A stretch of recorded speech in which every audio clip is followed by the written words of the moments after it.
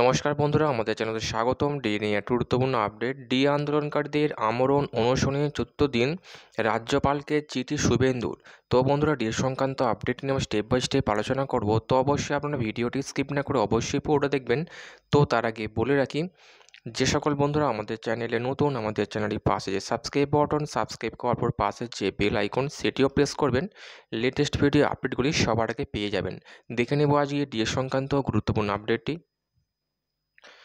কেন্দ্র যে হারে তাদের কর্মীদের ডিএ দেয়, সেই হারে রাজ্য সরকারকেও ডিএ দিতে হবে। এই দাবিকে সামনে রেখে যৌথ সংগ্রামী মঞ্চ গড়েছেন বিভিন্ন দপ্তরের সরকারি কর্মীরা। প্রায় এক বছর ধরে এই মঞ্চ কেন্দ্রের সমহারে ডিএর দাবিকে সামনে রেখে অবস্থান আন্দোলন করছে।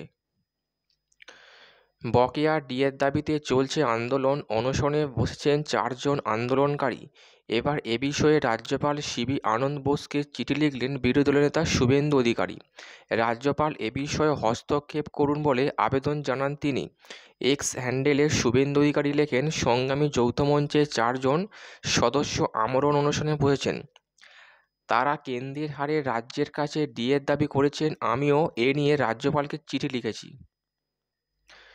কেন্দ্র যে হারে তাদের কর্মীদের ডিএ দেয়, সেই হারে রাজ্য সরকারকেও ডিএ দিতে হবে। এই দাবিকে সামনে রেখে যৌথ সংগ্রামী মঞ্চ গড়েছেন বিভিন্ন দপ্তরের সরকারি কর্মীরা। প্রায় এক বছর ধরে এই মঞ্চ কেন্দ্রের সমহারে ডিএর দাবিকে সামনে রেখে অবস্থান আন্দোলন করছে।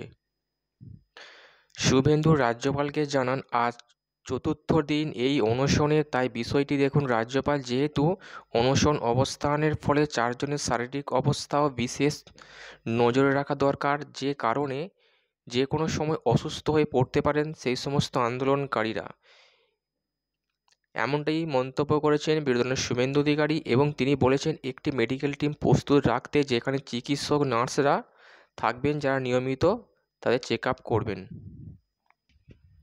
তো বন্ধুরা, এই ছিল ডি সংক্রান্ত গুরুত্বপূর্ণ আপডেট কেমন লাগল কমেন্ট করবেন লাইক করতে ভুলবেন না। পরবর্তী আপডেট পাওয়ার জন্য আমার চ্যানেলটি সাবস্ক্রাইব করে রাখবেন। থ্যাংক ইউ বন্ধু ভিডিও দেখার জন্য।